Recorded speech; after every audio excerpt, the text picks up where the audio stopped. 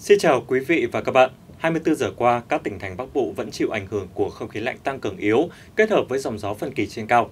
Vì vậy mà thời tiết khu vực tiếp tục ít mưa, ban ngày nắng giáo nhưng mà không quá gay gắt. Nhiệt độ cao nhất phổ biến từ 30 đến 33 độ. Đêm và sáng sớm thì trời mát mẻ với nền nhiệt ở vào khoảng từ 23 đến 25 độ. Ở vùng núi thì trời sẽ chuyển lạnh.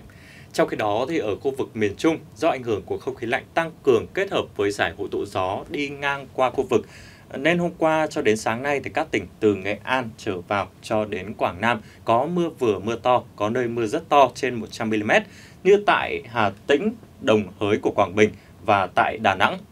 Dưới tác động của giải hội tụ gió đi qua nên khu vực Tây Nguyên tiếp tục nhiều mây, có mưa rào và rông trên diện rộng với lượng mưa là mưa nhỏ và vừa. Riêng tại các tiên của Lâm Đồng thì có mưa to, đạt mức là 75 mm. Mưa rông cũng xảy ra tại hầu khắp các tỉnh thành khu vực Nam Bộ trong 24 giờ qua.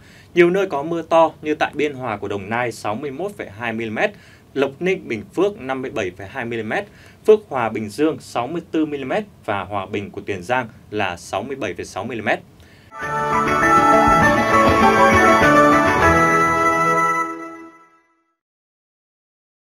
Vừa rồi là những tổng hợp về tình hình thời tiết cả nước trong 24 giờ qua. Sau đây sẽ là phần dự báo thời tiết cụ thể cho từng vùng du lịch trong đêm nay và ngày mai.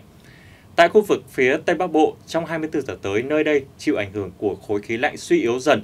Trên cao thì vẫn là sự chi phối của dòng gió phân kỳ nên thời tiết ổn định và ít mưa.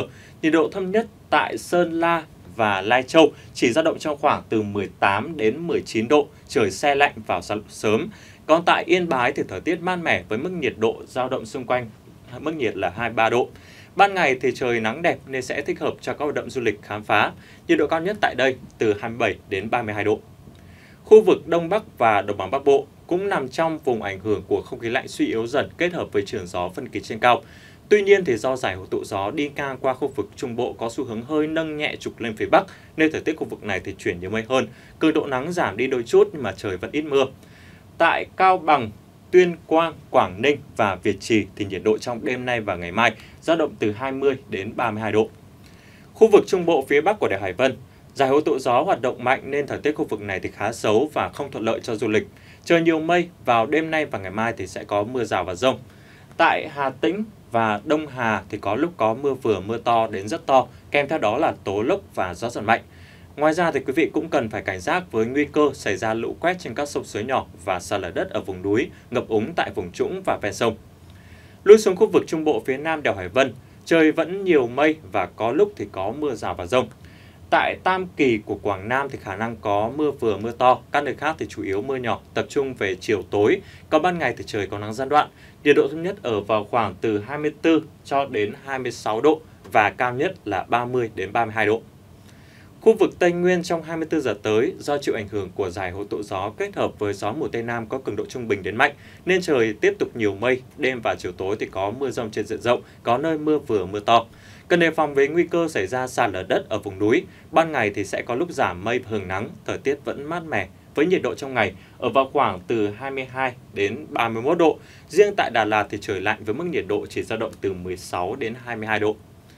Tại khu vực Nam Bộ, nơi đây chịu ảnh hưởng của rìa phía Nam giải hội tụ nhiệt đới thì kết hợp với gió mùa Tây Nam có cường độ trung bình đến mạnh nên trời tiết thì tiếp tục nhiều mây và có mưa nhiều nơi. Mưa vừa mưa to tập trung về chiều và tối. Trong cơn rông thì cần đề phòng với gió giật mạnh và lốc xoáy. Ban ngày thì có lúc giảm mây, trời nắng nên sẽ thuận lợi cho các hoạt động du lịch. Thưa quý vị, từ tháng 9 đến tháng 11 sẽ là khoảng thời gian thích hợp để trải nghiệm du lịch mùa nước nổi ở miền Tây. Vào mùa này thì sông nước không chỉ mang lại nguồn phù sa màu mỡ cho ruộng đồng mà còn tạo nên cảnh quan vô cùng hấp dẫn và thơ mộng. Du khách có thể ngồi trên xuồng để tham quan rừng tràm trà sư, búng bình thiên, đầm thị tường hay là những khu chợ nổi và những vườn cây chịu cảnh. Cuối cùng là các điểm du lịch biển đảo. Trong 24 giờ tới, trên hầu khắp các vùng biển nước ta, sóng gió duy trì cường độ trung bình đến mạnh. Thời tiết nhiều mây, có mưa rông làm giảm tầm nhìn xa, nên tàu thuyền hoạt động thì cần hết sức cẩn trọng tại đảo Cô Tô, Cù Lao Chàm, Côn Đảo và Thổ Chu. Nhiệt độ trong đêm nay và ngày mai ở vào khoảng 25 đến 31 độ. Cảm ơn quý vị đã theo dõi bản tin thời tiết du lịch ngày 21 tháng 9 của đài truyền hình kỹ thuật số VTC. Xin kính chào tạm biệt.